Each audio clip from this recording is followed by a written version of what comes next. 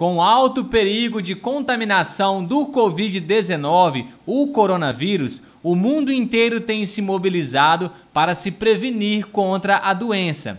As máscaras são indicadas principalmente para profissionais de saúde e pessoas com quadro confirmado. Sintomas como tosse, falta de ar, coriza e febre demandam esse equipamento para evitar o contágio. O coronavírus ele é transmitido por gotículas de, de saliva, ele é transmitido através de uma tosse, de um espirro, de um contato com o próximo.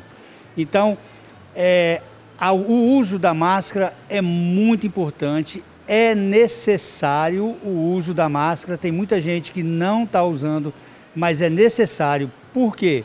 Você não sabe quem está do seu lado e se ele está contaminado ou não. Situações específicas, como a de pessoas livres do novo coronavírus, mas têm a imunidade comprometida e precisam andar por grandes aglomerações, devem ser discutidas com o médico.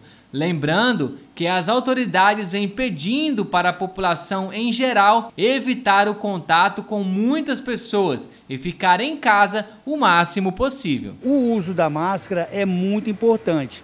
Uma pessoa que está sem máscara tosse ou espirra perto da outra ou entra em contato com um, um gesto, um cumprimento e essa pessoa está infectada.